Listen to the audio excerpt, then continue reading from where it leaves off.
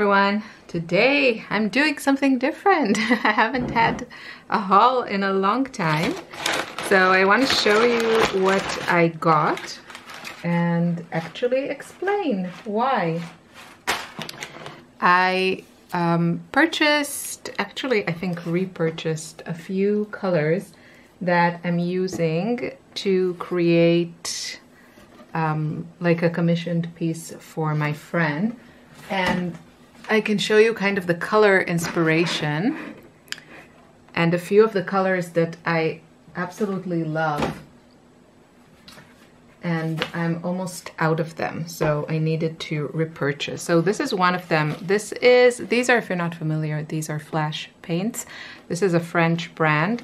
And these are the most beautiful matte paints. Now, there are quite a few um, acrylic paints on the market with a matte finish. Some companies call them acrylic gouache or, yeah, acrylic gouache uh, or matte acrylics. Um, and I've tried, I think almost all of them. I didn't try the Liquitex gouache. What is really amazing about the Flashe paints is actually how well pencils and other media go on top of them. And I haven't found another brand of matte acrylic paint that behaves uh, as well.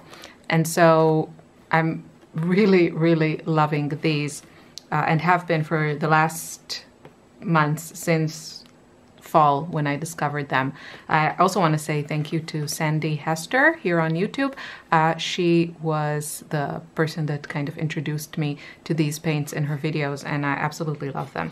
So this color is pink gray and I think you can see here in my palette, this is how it looks when it's pure.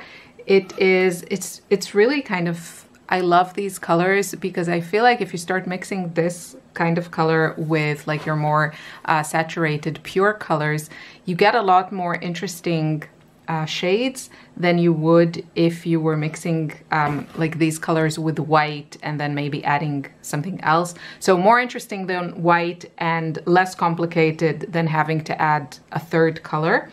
Uh, so I've just been really, really loving it. And also in its pure form, it's just beautiful. So it's like a elevated light neutral. So I got two of them because I've been going through quite a, a bit of those. And then this color, I'll show you if you're not familiar with Flashe paints. They also come in jars. The jars are really fun, but, um, and I do appreciate the um, kind of the environmental aspect of, you know, using less plastic. But at the end of the day, there are, the tubes are just so much more comfortable for me personally, for how I use paint uh, to use. And so I think I'm gonna go with the tubes. But for this color, they didn't actually have it in um, in the tube. This is gray green, and again, this is exactly what I was talking about. This kind of um, kind of elevated light neutral. So this is how it looks pure from straight from the tube, and you can see um, it's a very very very light muted mint, but it is gorgeous. It's really if you want to kind of explore um, creating like atmospheric color stories and you're not really sure how to do that, maybe try kind of tweaking, let's say instead of white, using something like this. Uh, I think you will find that it, it really kind of helps uh, to create uh, an interesting color story. And then I got a few other colors. Wow, I didn't remember that I ordered so many. So I should probably swatch them. So those um, the ones that I showed you were a repurchase. Wow, I really did not remember that I got so many. I think the other ones are all new colors. Okay, um, I needed, because of this particular uh, piece that I'm working on, I needed to try a few different browns. I have, I'll show you,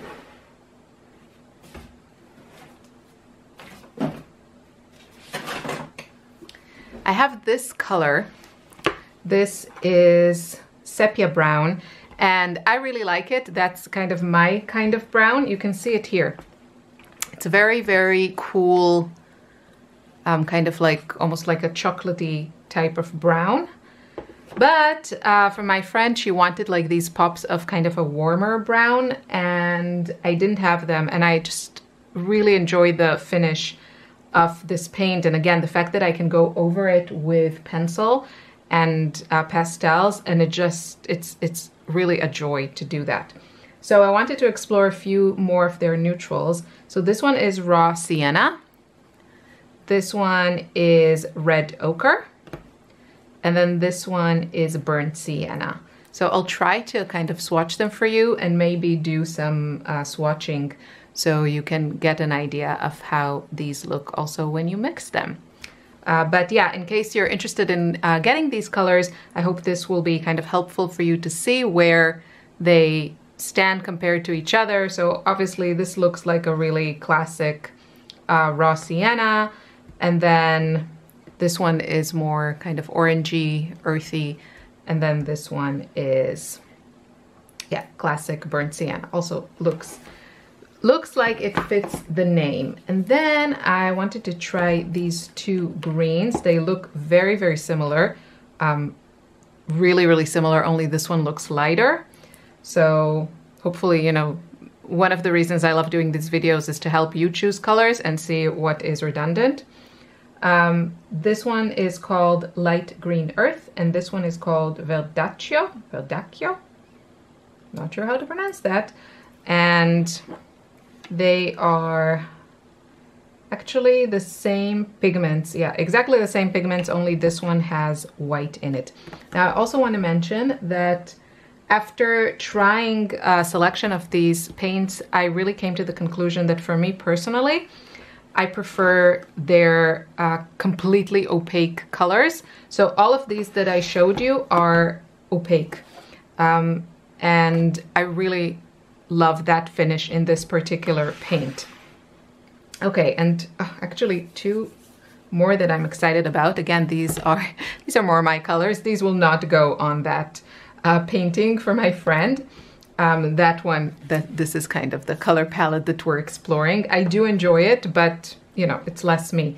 Um, so I have actually, I think quite a few of the pinks in this range, but I didn't have this one. And now I'm really, really happy that I got it.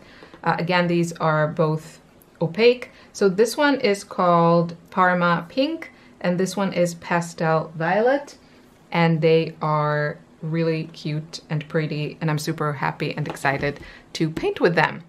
Um, and that's it. So this is what I got. Very, very kind of focused haul just because I needed to replenish on these and then uh, add some more uh, options. So I hope you enjoyed this video. Uh, let me know if you've tried these paints. I know there are some of you that, that tried them after I showed them in a different video and absolutely love them. That makes me really, really happy. Um, so yeah, I'll see you soon in another video. Uh, hopefully a swatching video. I think that would be a good idea. Take care, bye bye.